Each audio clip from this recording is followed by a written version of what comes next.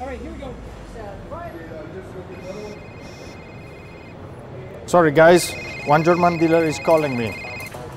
Hello Martin, how are you doing?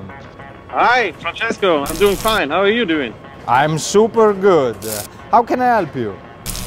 Um, I know that you know something that I want to know. Um, we are really, really excited what's coming. So, could you please show me something? I really can't. You need to wait a little bit more. Please, please, give me a favor.